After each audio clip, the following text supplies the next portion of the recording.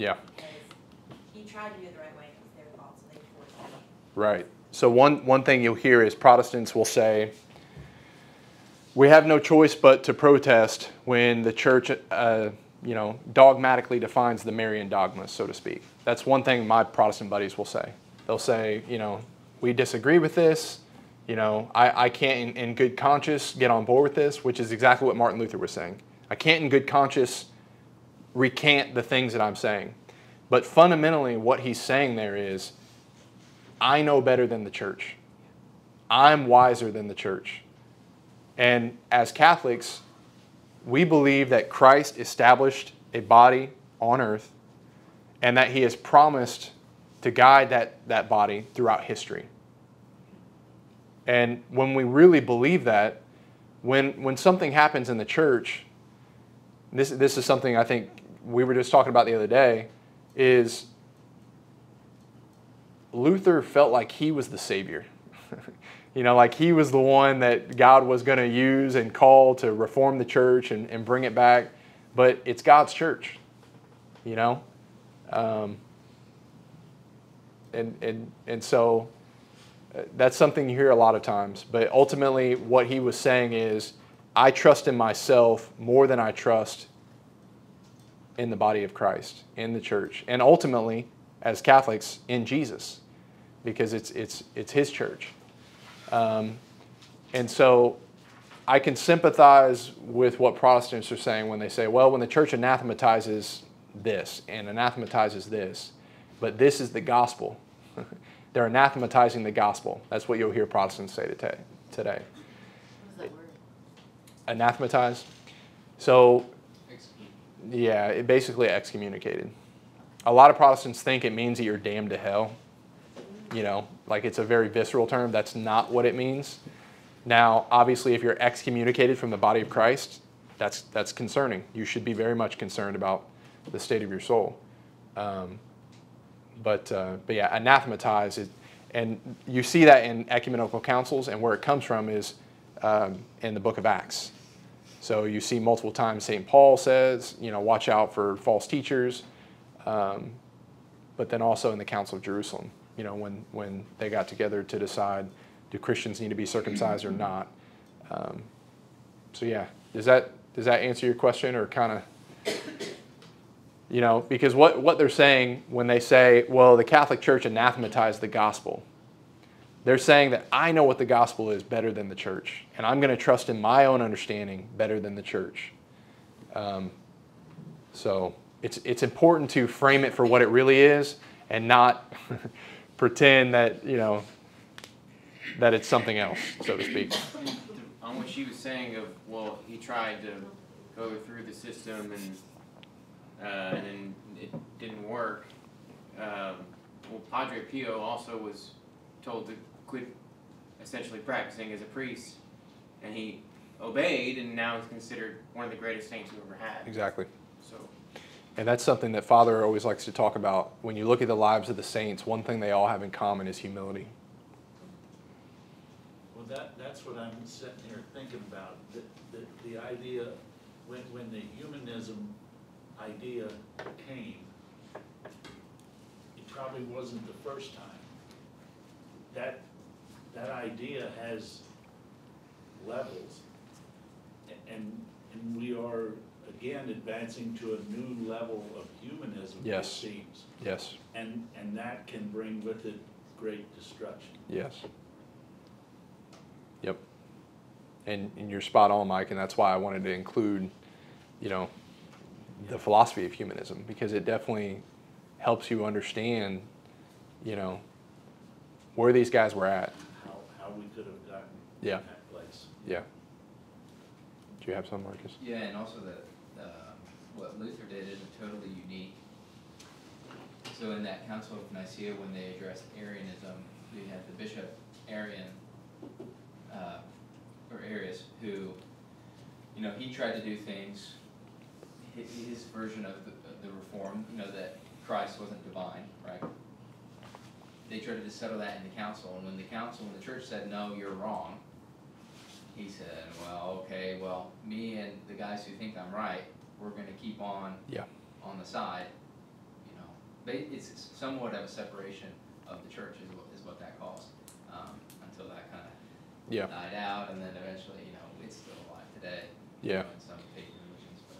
Yeah, and and that's something for me that was really big in, in my converting to the church, because the one thing that you see when you study early church history and you study the heretical movements, a lot of times there's this character that these guys were just evil. they were just the bad guys and they were just troublemakers and up to no good. That's not. There were some who were like that, but for the most part, these guys thought they were doing what was right. They thought they knew what was best. And that's the one thing that you have in common with all the heretical movements and the heretics. You know, we said the one thing that you have in common with all the saints is humility. Well, the one thing that all the heretics in church history have is the exact opposite of that. They were so sure that they were correct. They thought they knew better than the church. And this is why for me, some of some of us have talked about right now in the church there's internal strife between like traditional Catholics and modern Catholics. For me, the thing that I go back to is you're either Catholic or you aren't. you know, you really you really are, you know, what it means to be Catholic is is to believe that Christ instituted a church and has promised that his Holy Spirit will guide that church. And you trust in that. You don't trust in the Pope, you trust in the church. Now, God, you know, the Pope's important, you know. Don't get me wrong, don't misunderstand me. But you're not trusting in any one individual, you're trusting in God. You're trusting in the Holy Spirit. And so that's the one thing that you can see in common with all the with all the heretics. They thought they knew best. The Reformation, one of the good things that is done, as I'm from India, I know is that uh, Bible is translated into many languages. It is uh, they who took the initiative and uh, even Catholics, we were using their translation, the Bible and uh, so something good, it went faster. The evangelization went faster. Now the church took up that Bible and added the books that are rejected by them. So we have the Catholic Bible also. So something good God has done through this division also. Yeah, Because there were people who were thinking that they are doing the right thing. yeah. And that's a that's a good point and segment into our next section uh, because we're running out of time here, so I'll kind of expedite. But one thing that I want to point out is we've talked about relativism. We talked about relativism last class. And one thing for me, it seems very obvious that relativism is the fruit of the Protestant Reformation, fundamentally. And a lot of Protestants will, will scoff at that. But the argument that I make is as a Catholic, I believe that God revealed himself in Jesus Christ and that Jesus Christ founded a church and promised that the Holy Spirit will guide that church throughout all ages to the end of time, uh, like Jesus says. And so I believe that there are certain things that I can know about God and be certain of. I can know them objectively. They're objectively true. You know, the divinity of Jesus Christ, the Holy Trinity. Um, you know, there are many things that I can have certainty and I can say that's objective truth. And if someone said, well, how do you know that's true? I can I, I have some ammunition there. I've got the church, I've got church tradition, I've got the scriptures, of course. Um, but there's an objective way of knowing certain things. Whereas as a Protestant, ultimately, if you follow that ideology down to its root, it's subjectivism. You know, the best you can say is, well, this is my interpretation. This is what I think is right. And this is why I think there are so many people today who they're not Christian because there's so much disagreement amongst churches. They say, well, why would I be Christian? You Christians can't even agree amongst yourselves. You know? So how can I be certain that, that, that Jesus Christ was who he says he was and God does exist in the way you think if you Christians can't even agree upon basic things? And I sympathize with those people. Um, my dad is one of those people. You know, it's a big stumbling block for him. And I think rightfully so. And I think that's one of the reasons why one of Christ's wishes before he was crucified and ascended was unity. He really stressed the importance of unity amongst Christian believers. And for me as a Protestant, I used to see, see those scripture verses where Jesus want, wants unity, and I used to say, Well, Jesus, if this is what you want, surely you would have given us a way to achieve it. Because He knows that we're knuckleheads, you know, that we can mess things up and fight and disagree. And so it, it always just, that was something that was always on my mind, you know. Christ wanted unity. It's really important to know the nature of Christ and the nature of God. Surely He would have given us a way to do that. Um, and that's why, for me, when I discovered the magisterium and what the church taught about the magisterium, it was like a light bulb went off. Because that is a mechanism, as well as the Pope. You know, that is a mechanism where unity is achievable and has actually sustained throughout history. Um, that's one thing that's interesting about the Catholic Church from just a historical standpoint. There is no other institution that has lasted as long as it has. Not even talking like religiously. Think about if in in 2,000 years Amazon was still around. That would be like unheard of, right? Um, so that was something else. You have to go back to the fall man.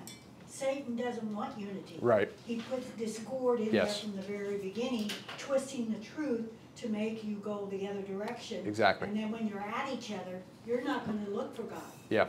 And that's why uh, St. Paul, when he's talking about false teachers, he says, those who twist the scriptures. And I just, it, it's so prophetic, you know? And that's why I think one of the main things the reformers were saying was sola scriptura. Because if you can get away with the authority of the church, if you can get away with the authority of the Pope, and you can just be you and your Bible, St. Paul warns us that that's the, the, the number one tool for a false teacher. It's going to be Scripture. And when I read about the heretical movements in church history, all the heretics were well versed in the Bible. And you know who else was well versed in the Scriptures? Satan. Exactly. Satan was well versed. Wouldn't that be a good read, uh, if C.S. Lewis could write in modern times about how the devil works? Yeah. Yeah. Might not wanna read that. Yeah. Yep. So, one thing to keep in mind is we all know what the Bible says, but what does it mean? You know, that's, that's one thing to keep in mind. It's so important. Um, and that's what, what I always say to my Protestant brothers, you know, when I'm discussing with them is we both have our Bibles open. We're reading the same. I could see what it says. You know, just repeating that over and over is not going to change anything. But what does it mean? And I think if someone is humble and has a humility, like Father Bijou says, they'll be hon- honest enough to say, well, like the Ethiopian eunuch, when he's reading the scriptures, and he said, and you know, the apostle says, "Do you know what you got there?" you know, I, I think that's kind of funny. You know, he, he he doesn't know who he is, and he says, "You know what you got there?" And he says, "How can I, unless someone teaches me?" And I think that maybe be the answer to your question about Catholics in, in the Bible. You know, there's a humility that's required to say, yes, I want to be in deep in the scriptures, but I also need assistance. I also need church tradition. I need the magisterium. I need, um, you know, I need to be guided so that way I don't fall off into error. So, so anything else? Would you guys? We got ten more minutes. Would you guys rather we go through the Reformation real quick, or would you rather just do ten minutes of? We've covered a lot tonight. Would you rather just do ten minutes and then we can review the Reformation at the beginning of next class? What do you guys think?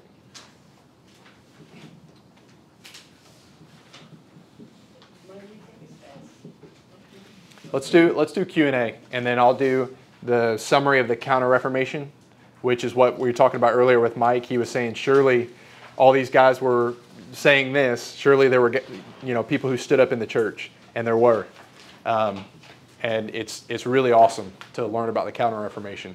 So why don't instead of I don't want to rush over that. Why don't we just cover that at the beginning of next class, and then last ten minutes here we'll just do open discussion, open Q and A um, about everything we've covered tonight. I know it's a lot, and you know if it's too much, please let me know. Um, but this stuff is so important. It's really hard to chop stuff off. You know, when I'm making these outlines, and and it, it's really hard for me to just scratch something off because it's all it's all really important in my opinion. So. Are you gonna have at any point in the talks, um, the discussion of the Bible and, um, in particular, the, the Yeah. Versus the, ca- are you, is that gonna be coming up? Cause I'm, I'm running into that, some of Yeah. And I would like to have a mature way. Yeah. A non-argumentative way Yeah. Maybe maybe it would be a good idea because next session I believe we're covering sola scriptura. So maybe it would be because that's what Marcus and I have been. That's why be, me and him both grinned because that's what we've been talking about all week is the canon. Um, It's coming up, the, okay. yeah, so maybe I'll include that with sola scriptura. But what what she's talking about is, as you all know, Catholics, you know, Catholic and Protestant Bibles look a little bit different.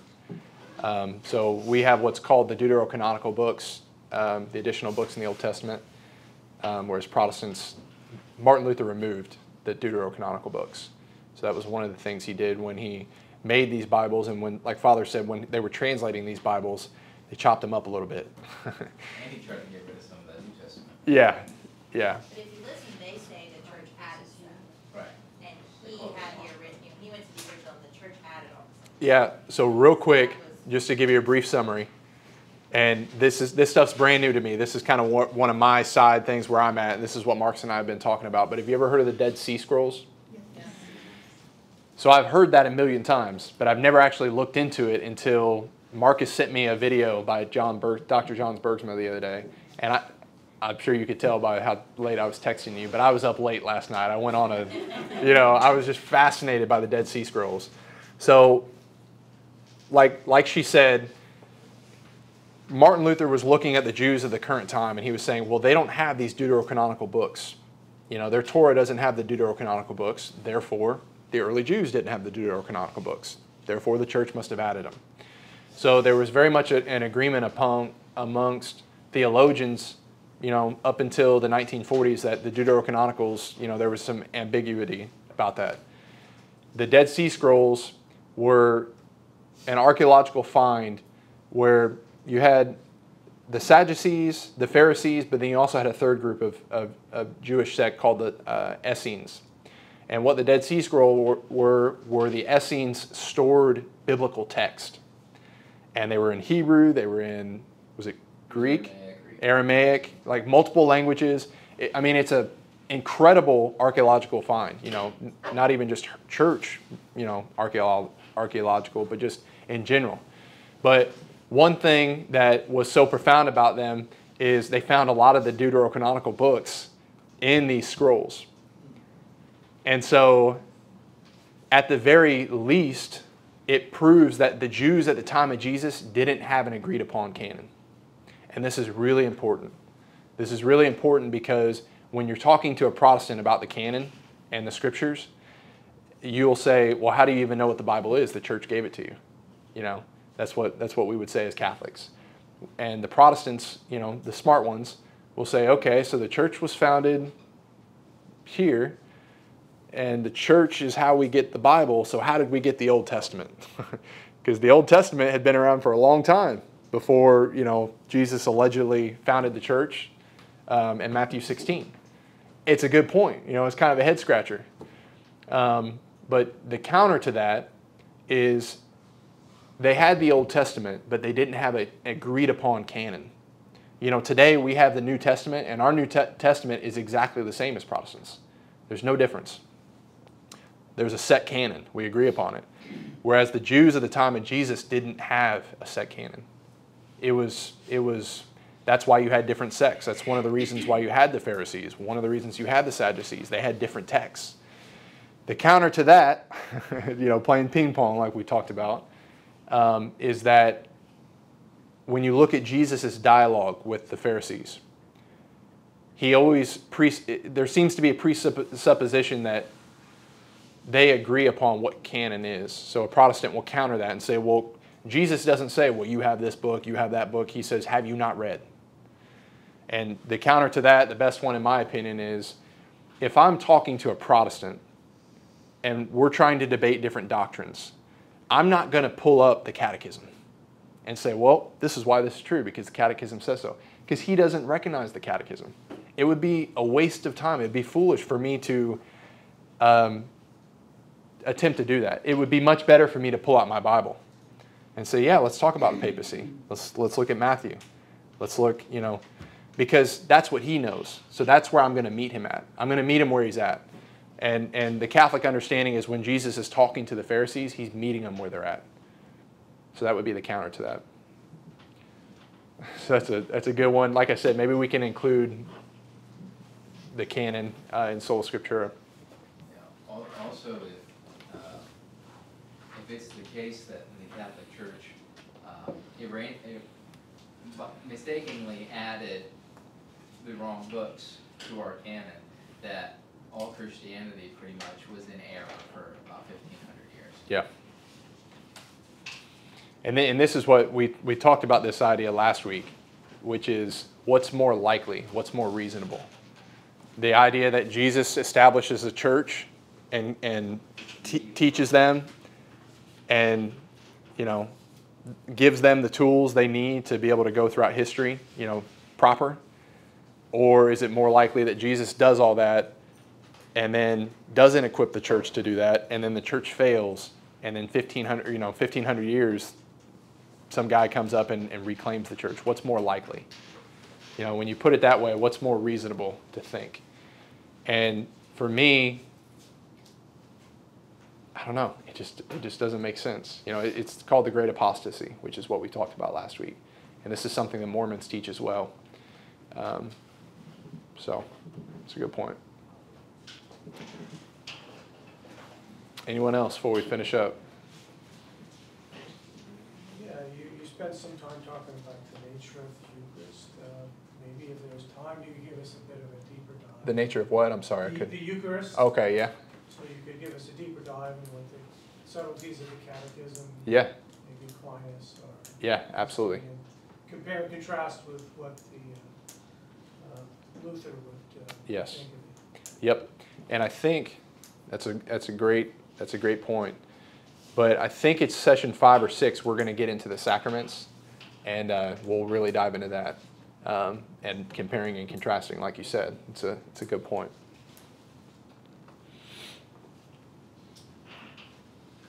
Anyone else? Thank you. It's a lot, but it, it, you know, I just feel more, little bit more equipped. Now, could I tell that to somebody else? Probably not. But, Yeah. yes. Yeah, we'll get there. Like I said, the main the main takeaway today, if you take anything away, is the difference between what we now know as the early Protestant reformers and the saints. It's the main. If you take anything away, take that away. You can Be right in the wrong way. You can be right in the wrong way.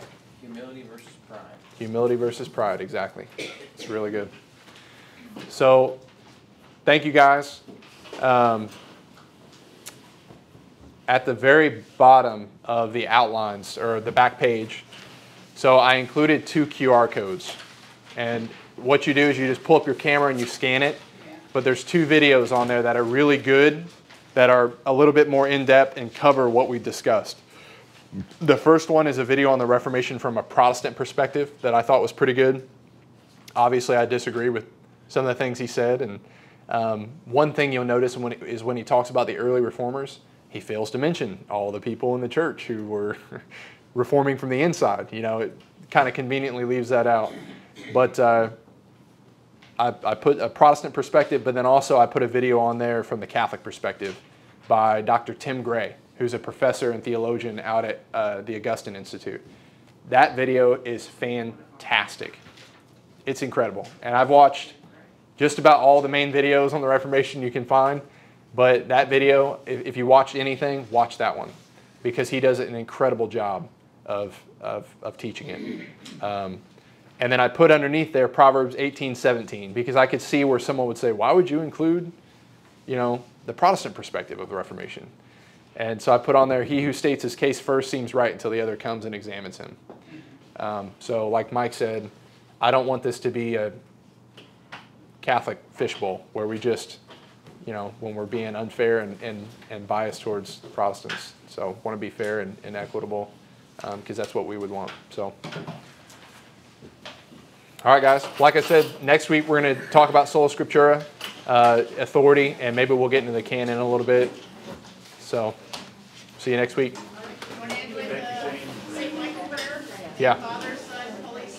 Amen. Saint Michael. The archangel, defend us in battle. Be our safeguard against the wickedness and snares of the devil.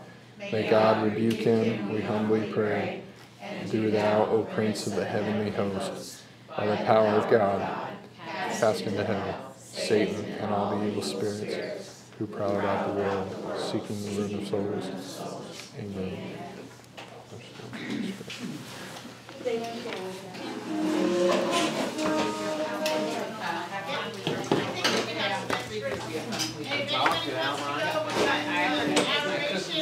That's a good point.